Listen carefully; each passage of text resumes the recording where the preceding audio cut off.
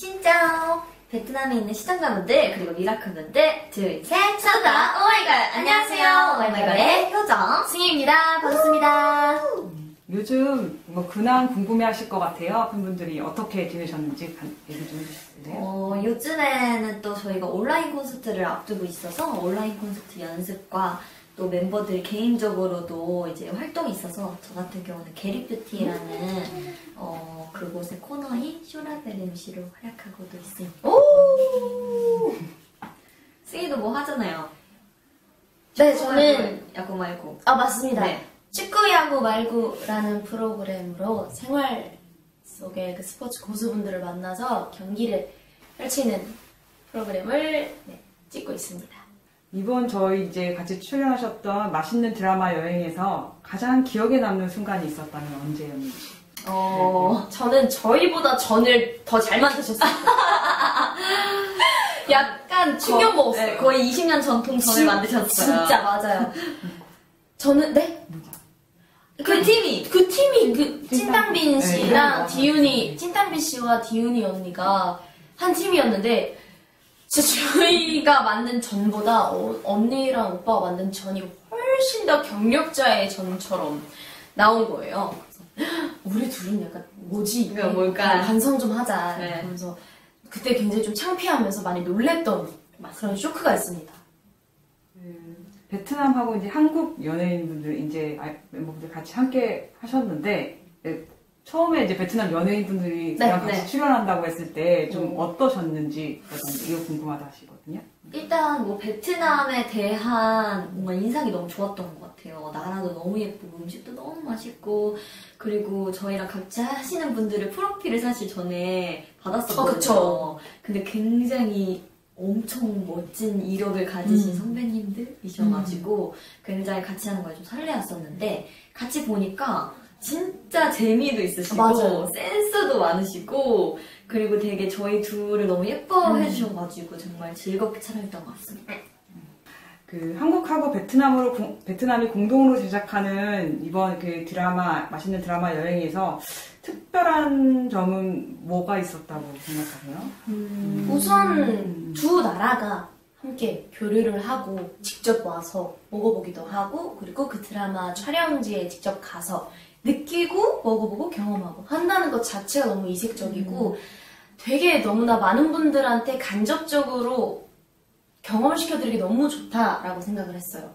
찍는 저희들도 너무 신기하고 재밌었고 보시는 분들도 아마 저희를 통해서 너무 재밌는 체험을 하셨을 거라고 생각해요.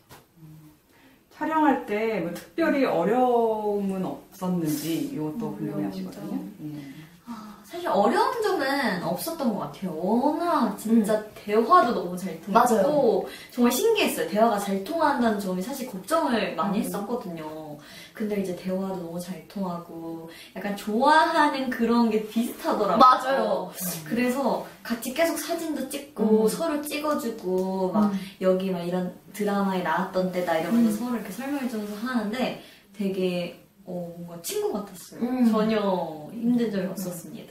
네, 이번 프로그램을 간단하게 한 단어로 표현하자면 키워드로 표현하자면 어떤 키워드. 단어가 떠오르실까요? 네. 아 키워드. 저는 힐링. 아! 힐링 맞아, 맞아, 떠오를 수밖에 없는 게 음. 너무 예쁘고 너무 멋진 곳에서 음. 같이 뭔가 웃으면서 뭔가 그런 추억을 만들었기 때문에 그만한 힐링이 음. 있을까라는 생각을 또 했고 그리고 또 베트남 연예인 선배님들 그리고 저희 이렇게 같이서 만들어가는 그 뭔가 새로운 뭔가 음. 조합이라고 할까요? 그런 거를 보는 재미가 뭔가 힐링에 속하는 거였다고 생각합니다. 음. 저는 그래서 맞아, 맞아. 힐링으로 하겠습니다. 음, 저는 음, 즐거움인데 이게 보는 눈도 즐겁고 이 같이 나오는 게스트들의 조합도 너무 즐겁고 그리고 내가 간접적으로 체험하는 모습도 너무 즐겁고 맛있게 먹어주니까 그 소리도 너무 즐겁고 음, 그래서 이 즐거움이라고 표현해드릴 수 있을 것 같아요. 그렇죠. 베트남에 이번에는 뭐 함께하지 못하지만 어, 만약에 가- 갔을 때 프로그램에 촬영을 하신다면 어떤 베트남 요리를 만들어 보시겠습니까? 저는 사실 디저트가 너무너무너무 맛있겠더라고요. 그래서 째라는 디저트가 있는데 그 약간 팥이랑 젤리랑 막 이런 거 같이 넣어서 먹는 것 같아요. 약간 맛이 어떨지 너무 궁금하고 음. 디저트에 빠진 만큼 꼭 디저트 투어를 또 함께 돌아다니면 너무너무 좋을 것 같아요. 오, 저는 베트남 전통 음식들을 한번 보고 만들어 볼 수 있는 기회가 있으면 좋지 않을까. 그래서 꼭 그런 기회가 있었으면 좋겠습니다. 그러고 이제 베트남 음식에 대해서 궁금한 점이 있으신지. 근데 보니까 네, 네. 그때 우리가 전을 부칠 때도 그렇고 네. 한국 음식이랑 비슷한 게 되게 많더라고요. 그럼 그리고- 비슷한 게 있었잖아요. 어 맞아요 맞아요 맞아요 그 전이랑 비슷한 이름에 뭐가 있었는지 맞아. 사실 그거 언니가 했었어요. 언니가 이거랑 뭐 베트남의 이 어. 음식이랑 되게 비슷해라고 맞아요. 했었던 적도 있고 그래서 사실 뭔가 많이 다르지 않고 많이 비슷한 면이 많다라고 생각을 했고 그리고 무엇보다 찐탕빈 오빠랑 재민이 언니가 매운 것도 너무 잘 드시는 거예요. 맞아. 되게 신기하고 네. 재밌었어요. 약간 베트남의 매운 요리를 대표하는 요리가 있다면 그런 요리의 맵기를 저희가 도전할 수 있을 것인가? 약간 그런 점이 좀 궁금합니다. 또 앞으로 오마이걸의 다양하고 뭔가 개개인별로도 매력을 많이 보여드릴 수 있을 것 같고요. 그리고 멤버들끼리 다 같이 또 어떤 음악과 어떤 무대를 위해서 열심히 또 달려나가는지 지켜봐 주셨으면 좋겠습니다.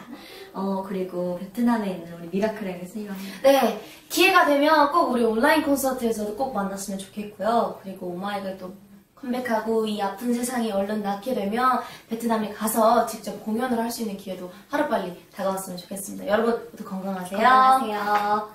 그러면 up light!